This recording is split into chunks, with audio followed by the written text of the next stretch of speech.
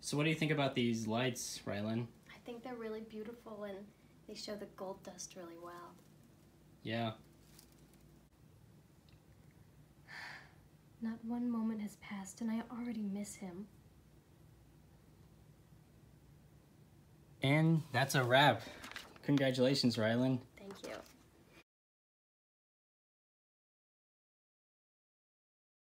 So what has it been like making the magic within us? It's been amazing.